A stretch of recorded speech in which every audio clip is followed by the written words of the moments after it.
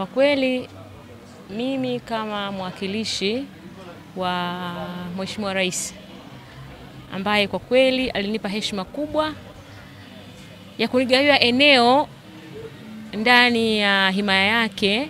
kuweza kumwakilisha kwenye kusimamia majukumu yake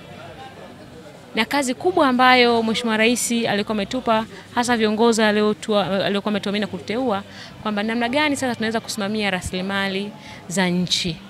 E, mimi binafsi kwa kweli na, na, na nimepokea jambo hili kwa masikitiko makubwa sana, na niseme tu uh, sisi kama wateule wake tulikuwa darasani kwa miaka mitano, tulikuwa darasani na sasa Mungu ametaka tu, tufuzu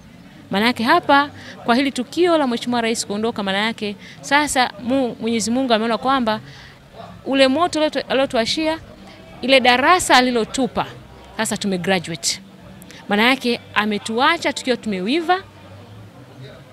kwa namna ambavyo alitujenga hasa si viongozi wachanga, viongozi wa kina mama, alituwezesha kwa kiasi kikubwa sana kujiamini na kutenda kazi na kutenda kazi ile ambayo kweli alikuwa akisema muda wote. Mimi niseme tu kwa wilaya ya Bahi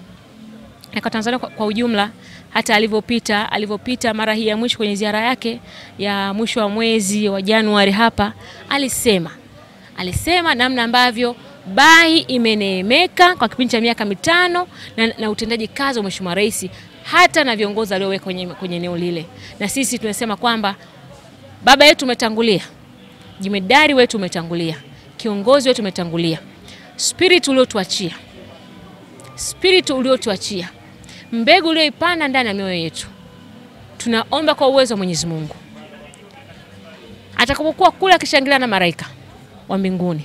sisi tutaendelea kuitenda kazi iliyo njema ambayo itaendelea kutukuzwa miaka yote,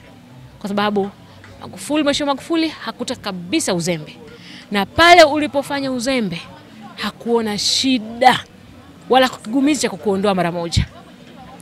Hakuona shida wala kigumizi cha kukuondoa mara moja, kwa sababu aliamini amekuweka pale ukawatetea wananchi wanyonge. Mimi niseme tu na naahidi, naahidi kwa nchi yangu, lakini naahidi kwa viongozi wangu wa juu kwamba tutaendelea kulinda na kuhakikisha kwamba wananchi wanyonge wa Tanzania na hasa wananchi wanyonge wa wilaya ya Bahi wataendelea kuhudumiwa kama ilivyokuwa hapo awali. Tutahakikisha kwamba huduma zote za msingi kuanzia kwenye sekta ya afya, kuja kwenye sekta ya, ya, elimu, ukija kwenye sekta ya maji, kuja kwenye sekta ya miundombinu, ukija na uwajibikaji wa watumishi, wajibu tutaendelea kusimamia kikamilifu.